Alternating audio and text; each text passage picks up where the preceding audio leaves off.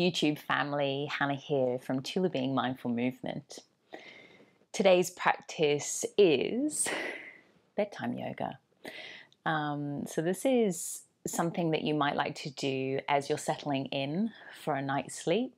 Uh, also, for those of you who are shift workers and perhaps need to just settle before you have to sleep in the daytime. Um, so, really, all you need is your bed, and perhaps you might um, have some of your cushions and your pillows still around. We might utilize those as well in today's practice. Get super comfy. You could do this in your pajamas. We're going to start with legs up the wall. So you want to scoot yourself around. I'm just going to bring some of these excess cushions out of the way. But you might actually like to use one pillow underneath your buttocks. Sometimes um, it's nice to rest your hips a little bit higher. So that's up to you whether you choose to use that or not. I'm actually not going to uh, do that, but some people like to have the hips raised even higher. Uh, you might want to do what I'm doing, which is kind of scooting in sideways towards the wall and then just starting to lift those feet up. See if you can shimmy your hips in quite close towards the wall, but it doesn't have to be um, perfectly snuggled in there. And then take a moment just to feel into where you might like the arms. Some of you might like them spread wide you might like to rest hands onto the lower belly, or perhaps even one hand to heart and one to belly. We'll be here for about another minute or so. You can have the legs quite close together. You might choose to have feet parted. For now, I'm going to keep my legs pretty upright rather than widening the legs, but if that's something you prefer to do, you can always take that option as well. I invite you to take an inhale through the nose. Maybe let that breath go through the mouth. Inhale slowly through the nose. Feel the belly rise. And then exhale the breath away through the mouth. Let's do that again. Inhale through your nose and exhale through the mouth. Having the legs higher than heart and brain allows the blood to return towards the brain. Flush, reoxygenated. Having the legs higher than heart is a great way to start to settle into the parasympathetic nervous system.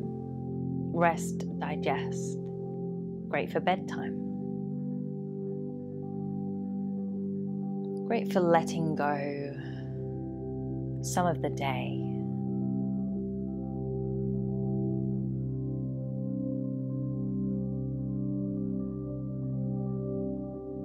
For the last few breaths here, just noticing whether the mind is struggling to stay centered. And just kindly bring your thoughts back to the moment of now, the experience of now. The simplicity of laying here, legs against the wall.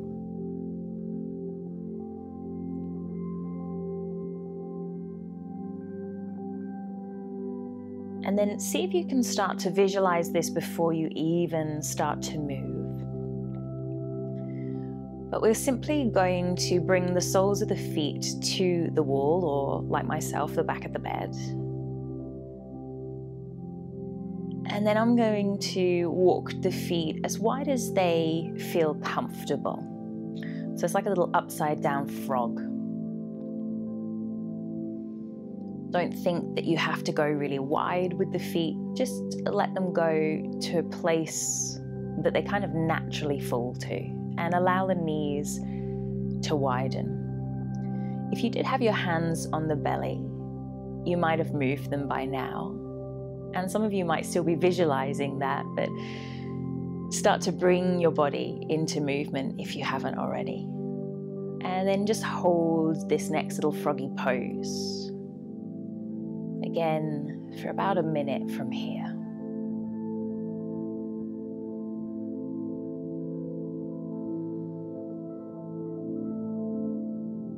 You might notice all sorts of flavors appearing in the body. Maybe at this point, your focus goes to left hip, right knee, lower back. And wherever the thoughts are being drawn towards physically in the body, create a space of allowing.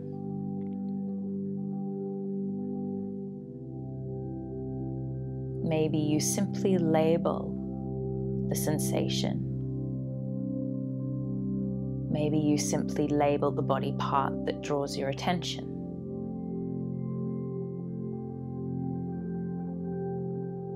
We stay just for a few more breaths.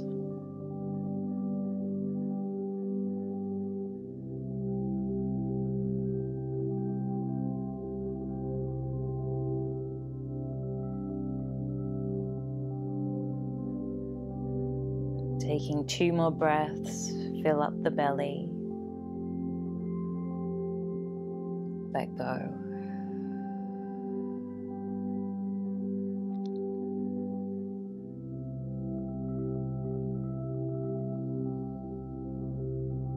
So, again, you might visualize the movement just for a few seconds before you head there. But I'm going to start to bring my left leg over to the right and end up in a twist. Now, you might feel too close towards the wall at this point. So, if you need to, just shuffle a little away, do a little shimmy. And you might also grab one of your pillows, and perhaps you'd like to place that between the knees or underneath one of your knees, or both. you don't have to have both legs perfectly stacked you might choose to even pull the bottom leg a little further back and create more of an S shape through your legs. At this point, I'm just going to move my excess pillows a little bit further out of the way, just so they're not distracting. And if possible, see if you can have your nose, your head centered if it feels comfortable, you could even turn the head away from the turn of the knees in the opposite direction. Are you able to keep your shoulders relatively earthed into the mattress of the bed? If you're finding that turning the head is uncomfortable, just keep it centered.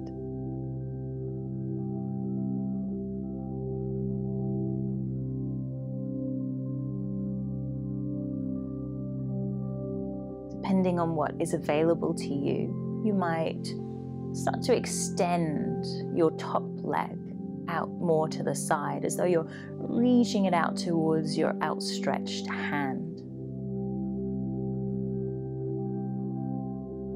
And you might play with that just for a few more breaths, seeing what potential you have at this time of the day in your body before we settle for deep rest last couple of breaths.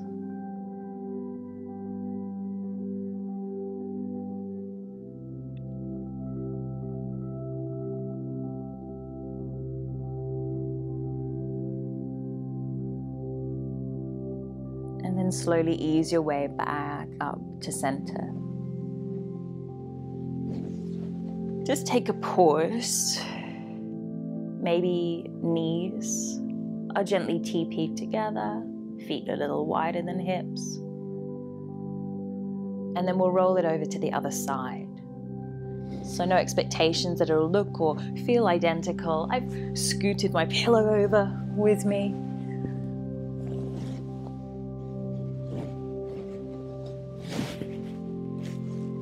Take a moment to resettle on that second side. Maybe you're choosing to stack the knees.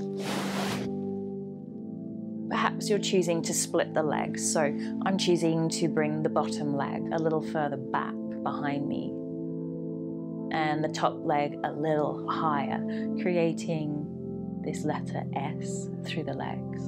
But you discover what feels right for you on this side.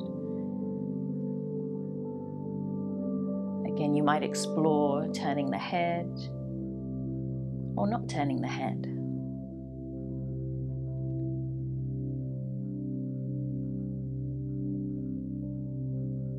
In this gentle twist, we're actually creating a little compression through the spine.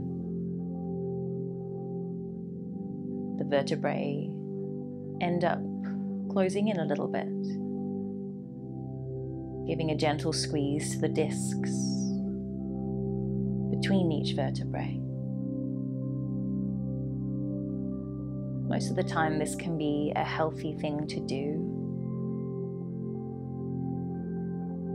so that we can keep the spine lubricated. Last couple of breaths, perhaps you're exploring a little more movement. I'm choosing to extend through my top leg as though I'm reaching out towards my palm.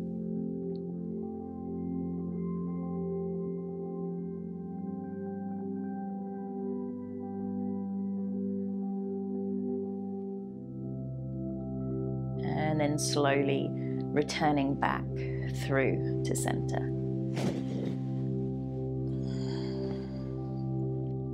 Choosing to pause in that little teepee shape.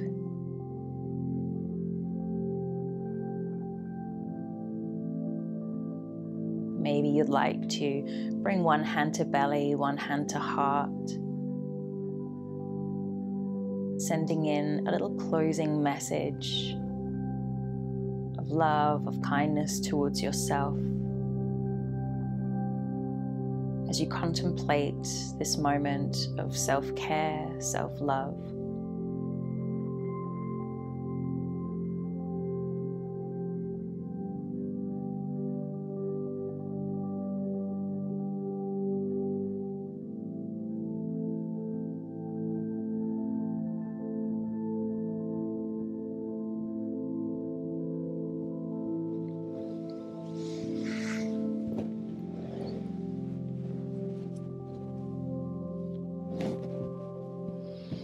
Welcome to stay as you are or return to seated. Thank you for allowing me to guide you through your bedtime practice and have a beautiful, restful sleep.